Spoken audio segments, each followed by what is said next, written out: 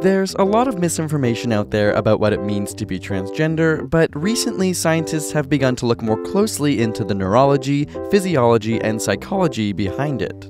So today we're going to break down what science does know in a respectful and educational way. Hey guys, I'm Gigi Gorgeous, and today I'm here with ASAP Science to break down the science of being transgender. Before we get too deep into it, we have to look at your genetic sex, or the chromosomes you have. These were determined right at fertilization, when the sperm cell from your father, which carries an X or a Y chromosome, fused with the egg from your mother, which carries an X chromosome. But until six or seven weeks after fertilization, both XY and XX embryos have identical gonads. Around seven weeks, the male sex organs start to develop because of a gene on the Y chromosome called SRY. It causes cells to become more specialized, and these cells create testosterone, which in turn triggers the development of structures like the penis and scrotum, while other cells block female development by degenerating the female ducts. However, in female development, because there is no Y chromosome with the SRY gene, these ducts stay intact and become the uterus, cervix, upper vagina, and the oviduct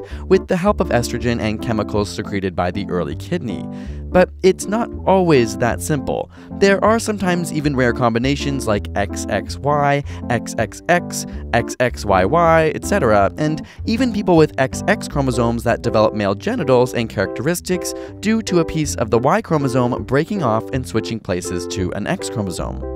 But sexual differentiation in the brain actually happens much later than gonadal differentiation. And yes, although controversial, male and female brains have structural and functional differences between each other. Studies have found that males generally have a larger cerebrum, cerebellum, and hippocampus, while females have higher density left frontal lobes and larger volumes in the right frontal lobes. So what exactly do we see when we look at the brain of a transgender person? Several studies have shown that transgender brains are both structurally and functionally more similar to their experienced gender identity than their biological sex. One study found that trans women who, despite being assigned male at birth, had a smaller female sized structure in the hypothalamus. MRI scans also show the brain structures of trans people to be more similar in thickness to their experienced gender and not their sex. Finally, the pheromone androstadienone causes different hypothalamic responses in male and female brains. And when individuals with gender dysphoria were exposed to it, the hypothalamic response matched their perceived gender rather than their sex.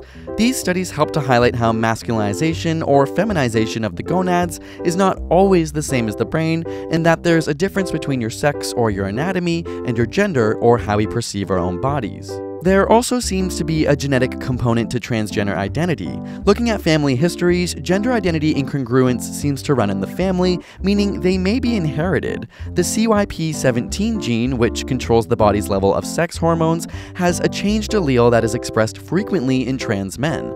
Although more research could be done, scientists are currently looking at over 3 million DNA markers for transgender identity to investigate any genetic link for being trans.